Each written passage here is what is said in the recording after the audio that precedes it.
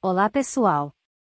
Hoje em dia, muitas pessoas estão em busca de maneiras de emagrecer e alcançar uma vida saudável.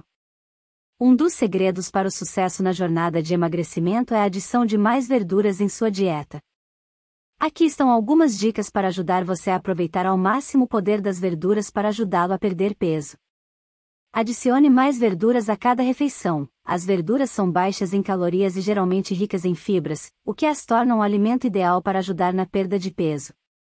Escolha verduras de baixo teor de amido. Algumas verduras, como batata, abóbora e ervilhas, são ricas em amido e podem afetar negativamente sua dieta de emagrecimento.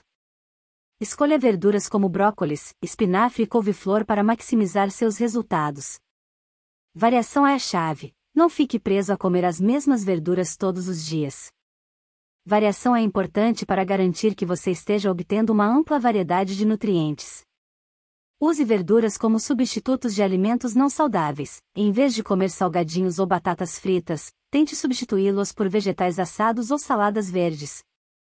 Lembre-se de que o consumo de verduras é apenas uma parte do processo na jornada de emagrecimento. É importante seguir uma dieta equilibrada e realizar atividade física regularmente para alcançar os resultados desejados. Espero que essas dicas ajudem você a aproveitar ao máximo o poder das verduras no processo de emagrecimento. Até a próxima!